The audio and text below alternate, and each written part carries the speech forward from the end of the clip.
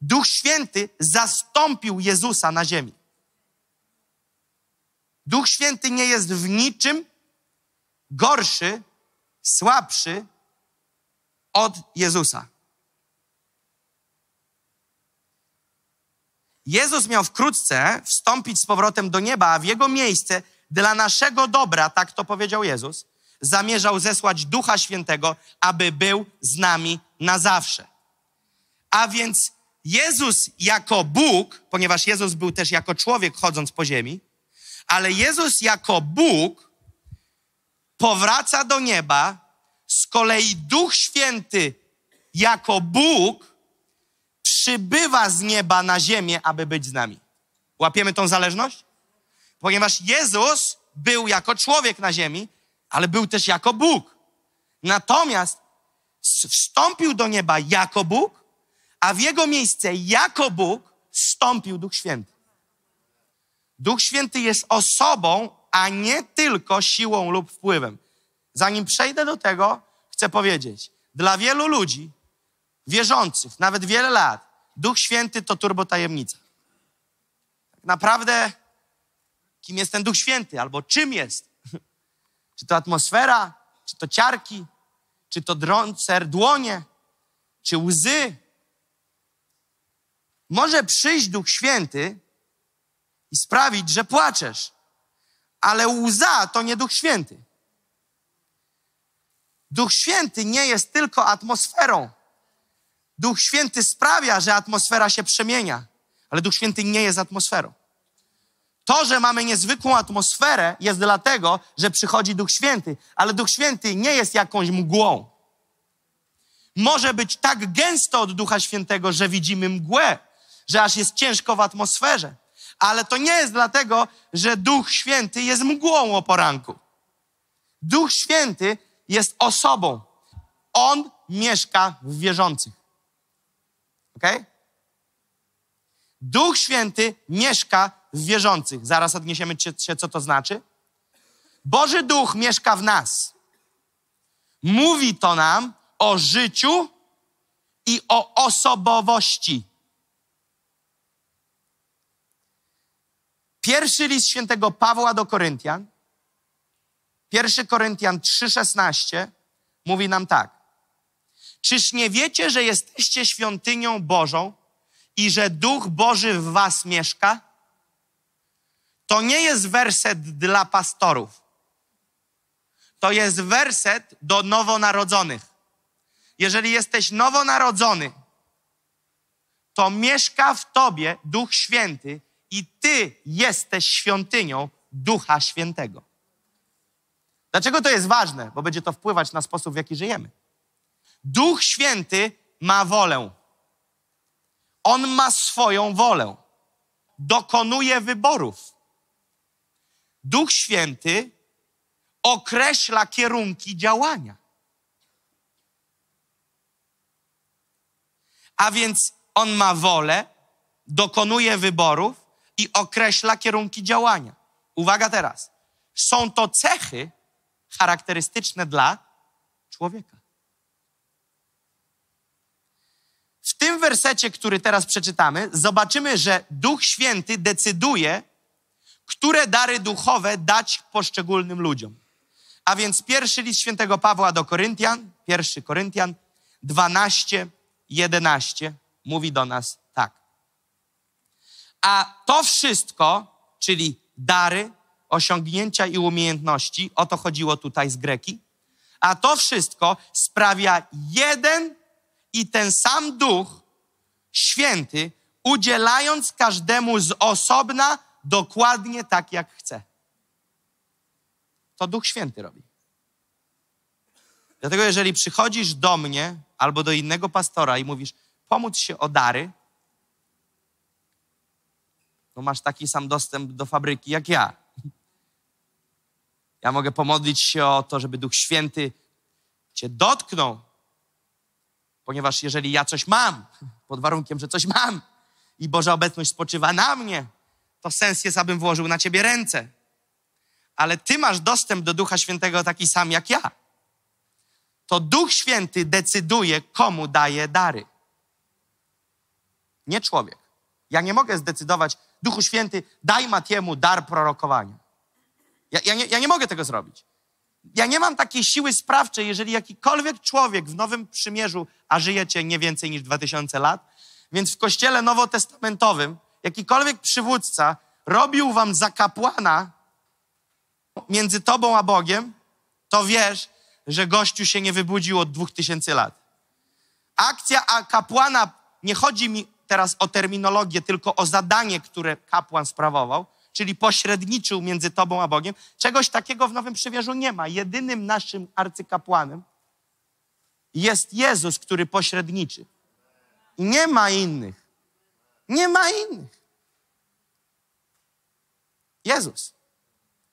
Więc jeszcze raz, on ma wolę, dokonuje wyborów i określa kierunki działania. Jeszcze raz przeczytam ten werset. To wszystko sprawia jeden i ten sam duch, udzielając każdemu z osobna dokładnie tak, jak chce. Kolejny podpunkt jest taki. Duch Święty ma umysł.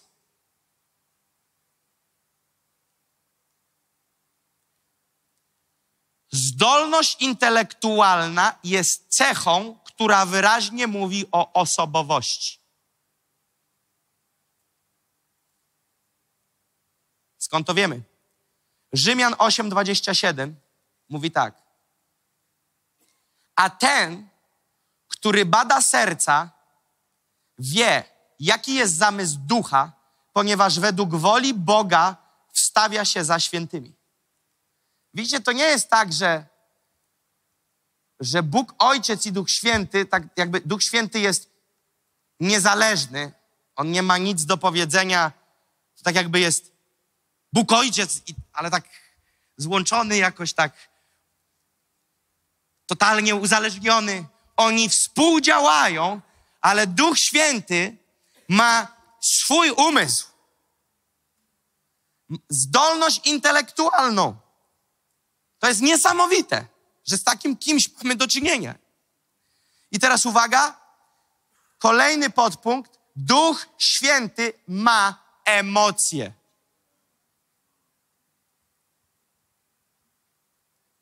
Duch Święty ma emocje. Duch Święty może być zasmucany. Zaraz sobie przeczytamy, albo przeczytajmy od razu. Efezjan 4:30 mówi tak. I nie zasmucajcie Bożego Ducha Świętego.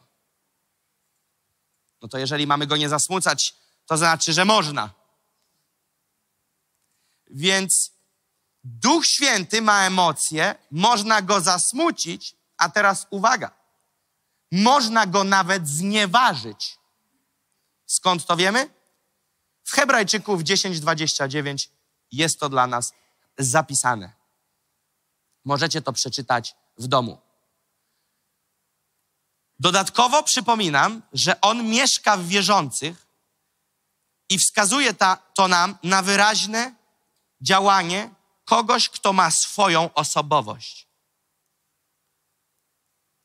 Dlaczego jest to tak ważne, to co przeczytaliśmy, o tym, że Duch Święty ma emocje, ma umysł, ma wolę i mieszka w wierzących?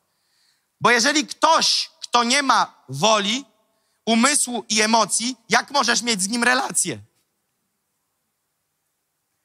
Ale jeżeli ktoś ma emocje, wolę, osobowość, to ty możesz z nim rozmawiać tak, jak z osobą, która siedzi obok ciebie. Możesz żyć z Duchem Świętym. Wszyscy, którzy nie rozumieją tego, co chociażby do tej pory przeczytaliśmy i powiedzieliśmy, nigdy nie mogą mieć relacji z Duchem Świętym. Bo dla nich Duch Święty to jakaś para w atmosferze. Jakaś moc. Tak, owszem, jest moc w Duchu Świętym. Ale Duch Święty ma emocje. Samo to, posłuchajmy tego, samo to, że on ma emocje i mieszka w tobie, te dwa czynniki połączmy, ok? Mieszka w tobie i ma emocje. To jest tam, gdzie ty, widzi to, co ty, słucha tego, co ty. Zgadnij, czy lubi twoją playlistę na Spotify. Niektórzy chrześcijanie pod koniec roku jest Spotify. Spotify to taki odtwarzacz, taka biblioteka muzyki. i, w, i zawsze ci pod koniec roku jest podsumowanie tego, czego słuchasz. Wiecie, co jest dla mnie największą paranoją? Że ludzie, którzy trzymają mikrofon w polskim chrześcijaństwie, robią screen i wrzucają w internet pochwalić się, że w sześciu topowych są dwie chrześcijańskie. Bo to pokazuje na tle ilości wyświetlania tego, co słuchali. Ja nie rozumiem. Ja tego nie rozumiem.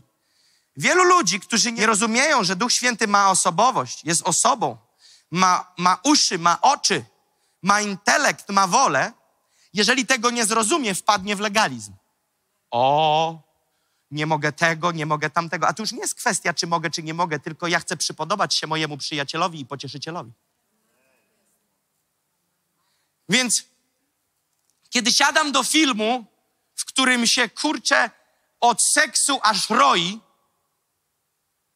to zgadnij, czy Duch Święty jest rozradowany, czy zasmucony, czy może coś, co się nie mieści w ogóle już w ramach teologii, czy znika na chwilę? No nie znika. On jest w tobie. To zgadnij, co się dzieje. A później jesteś zdziwiony. Załóżmy, że moja żona lubi mięso, a lubi, a ja ją zaproszę na jej urodziny na, na sałatkę strawy. Kolejną rzecz, jej marzeniem było, aby odwiedzić Pałac Kultury, a najgorszą rzecz, którą mógłbym jej zrobić, to zabrać do Biblioteki Miejskiej. Zabiorę ją po trawie na, do Biblioteki Miejskiej, a na koniec mówi, uwielbiam gorącą saunę i zabrałem ją do groty takiej śnieżnej. Na koniec dnia mówię, kochanie, obejrzymy coś. Załóżmy, że lubi kino akcji, a ja jej nudny dokument. I pod koniec dnia mówię, kochanie, jak tam u ciebie? I my tak samo robimy z Duchem Świętym. Ignorujemy to, że On jest, ignorujemy to, że czuje, ignorujemy to, że coś lubi, ignorujemy to, że słucha i patrzy, oramy Go non-stop, przychodzimy do kościoła i myślimy, że On od progu na nas czeka i mówi, teraz dołącz. I wchodzimy i zaczynamy, jakby wszystko było ok. I jesteśmy zdziwieni, że coś w naszej relacji nie działa. Czy powoli nam się ten obraz krystalizuje i komuś to pomogło, co teraz powiedziałem? Widzicie, co się dzieje? Widzicie, co się dzieje? Widzicie, co się dzieje? Jesteś zdziwiony, że jakoś relacja się nie układa, ale łatwiej jest zrozumieć na przykładzie tych czterech rzeczy, które odniosłem do mojej żony. Dlaczego? No jak to dlaczego? Żona ci powie, co ty głupi jesteś? Nie wiesz, czemu jestem w takim niesosie? Cały dzień nie tyle, co nie zrobiłeś tego, co chciałam, tylko jeszcze wszystko na przekór. I każdy z nas by zrozumiał, gdyby taki facet jak ja przyszedł i powiedział, co, ja nie rozumiem, co z tą moją żoną, ona taka na mnie jakoś bokiem patrzy. A ty powiesz, no chłopie, no przecież cztery na cztery zawaliłeś. Przecież były jej urodziny. Ale dlatego, że Duch Święty w postrzeganiu wielu z nas jest jakąś atmosferą, nie rozumiemy, że jesteśmy świątynią ducha, żyjemy sobie jakby go nie było, myślimy, że on oko przymyka i później wchodzimy. Czy to znaczy, że masz nie wchodzić i już do niego się nie odzywać? Nie, nie idź w tą stronę. Właśnie masz się odzywać, masz z nim działać, ale teraz mam udać, my faceci byśmy tak chcieli, że po takim dniu z moją żoną, cztery na cztery awaria, dobra kochanie, zapomnijmy, jedźmy dalej. Kobieta musi to przegadać. Nie wiem jak wasze kobiety, drodzy panowie, ale moja żona chciałaby posłuchać trochę mnie, później ja muszę posłuchać jej. I raz ja się podkładam, raz ona, na tym polega małżeństwo, chyba. Kilka lat już minęło, dwójka dzieci, powoli zaczynam rozumieć, jak to działa. Żartuję, mamy super. Ale do czego zmierzam? Zmierzam do tego, że to jest sprawa oczywista, że pewne rzeczy między ludźmi są dla nas oczywiste, ale pewne rzeczy dla nas między nami a Bogiem. I teraz uwaga, więc ja bym jej wysłuchał, powiedz, co cię dotknęło. Ja bym jej powiedział, przepraszam, sorry za to. Ale dlaczego po całym dniu ignory ducha, później mówimy jeszcze, on nie mówi, a może ty nie słuchałeś? Bo kilka razy zdarzyło się mojej żonie, że ja coś do niej mówię, a najlep- największy cios dla mnie jest, żartuję cios, ale wiecie no, Sarita te amo. Mówię, Sarita, kocham cię. A ona tyłem do mnie stoi i odeszła. Ja mówię, co to kurcze było?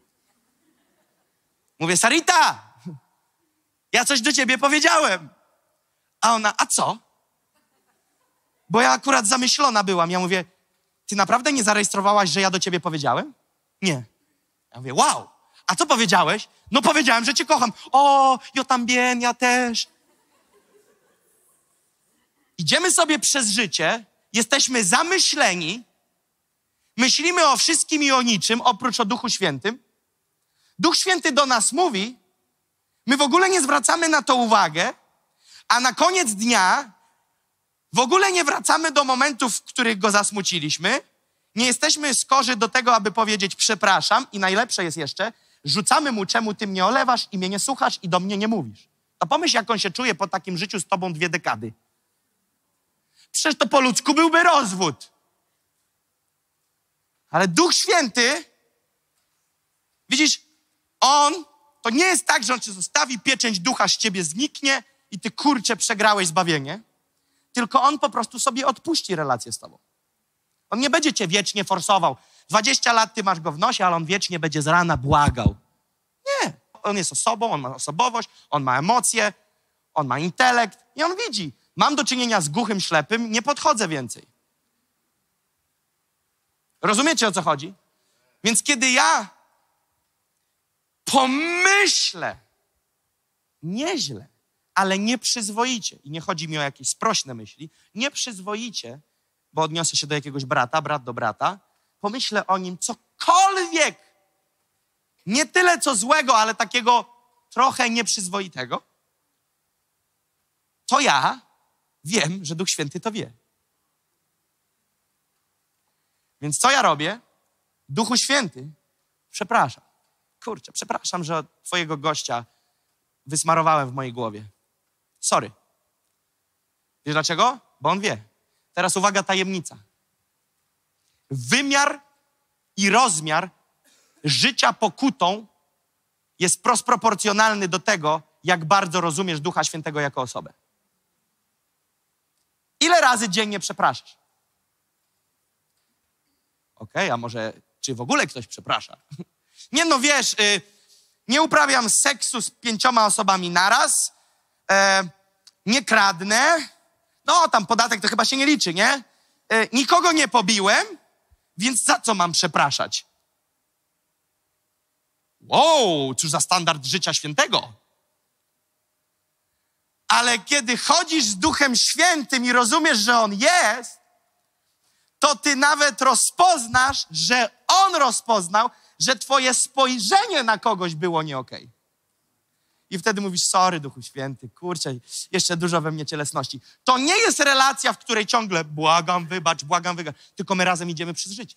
Ja z nim idę, ja z nim idę. Spojrzę na Matiego, coś mi się nie spodoba, Mati tego nie wie, Mati nie musi wiedzieć, ja nawet nie muszę go przeprosić, bo chłop nawet nie zrozumie za co. Akurat tak nie było, Mati. A, ale ja wiem, że Duch Święty. I ja później wyjdę na scenę i powiem, o, tam na schodkach, Duchu Święty, jestem Twoim nama, namaszczonym naczyniem. Użyj swój kanał przeżytowy. A wiesz co on mówi? No, użyję, pomijając te rdzawe zacieki. I mówimy, o, Duchu Święty, użyj mnie, jestem Twój. Ta? No to czyść tą rurę przerzutową. Rozumiecie, w czym to działa? Widzicie, tak naprawdę dogadasz się z Duchem Świętym, wszystko jest załatwione. Dlatego tak bardzo naciskamy kaman kościele, relacja z Bogiem, bez relacji z Duchem Świętym nie ma nas. To nie jest chrześcijaństwo. To będzie ciągła olewka. No pomyśl sobie, że wchodzisz w związek małżeński, zakładacie sobie obrączki i od tego dnia jeździcie na kursy małżeńskie, bo wam nie idzie, ok? Słuchajcie tego. W samochodzie cisza, w domu cisza. Nigdy się nie odzywacie. Przyjeżdżacie na kurs, siedzicie ze sobą, jedynie do kogo możecie się odezwać, do jakiegoś gościa, który wam pomaga i, i dopiero wtedy, ale możecie odezwać się nie między sobą, a do niego. I no wiesz, y, panie profesorze, czy tam panie pastorze, czy kogokolwiek go pytasz, wiesz, bo ja z moją żoną się nie mogę dogadać, a, wtedy on pyta, a ty co z tobą? No wiesz, bo ja z tym człowiekiem nie potrafią sobą wymienić słowa. 20 lat później dalej jeżdżą. Wiecie, co mi to przypomina? Ludzi, którzy przychodzą do kościoła z Duchem Świętym, będąc z nim zaręczonym, i mówiąc w kościele, no pomódźcie się, żebym słyszał, pomódźcie się, żebym w końcu się przebił, y, ja jakoś nie mogę. Jesteś w związku małżeńskim, w przymierzu, w relacji otwartej, na którą on jest chętny i gadasz ze wszystkimi oprócz nim. Dlatego, że nie rozumiesz, że on tak samo, a nawet lepiej jest czujny niż człowiek. Na ile nie będzie zrozumienia, że jest to osoba, teraz, kiedy o nim mówimy, on tu jest. Patrzy na każdą piękną buzię na tej sali. Widzi każdy twój ruch. Patrzy na ciebie i mu jest miło, że dzisiaj o nim rozmawiamy. On tu jest. On tu jest. Dzięki Duchu Święty, że tu jesteś.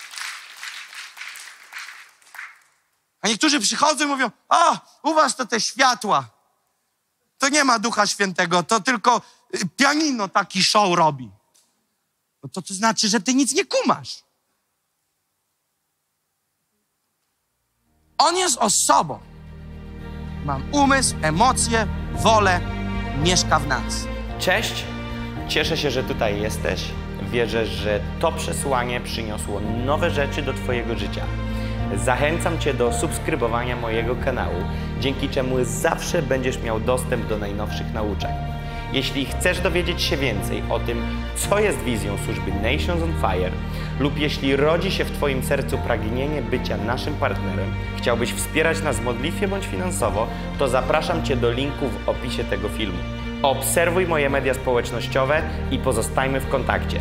Trzymaj się!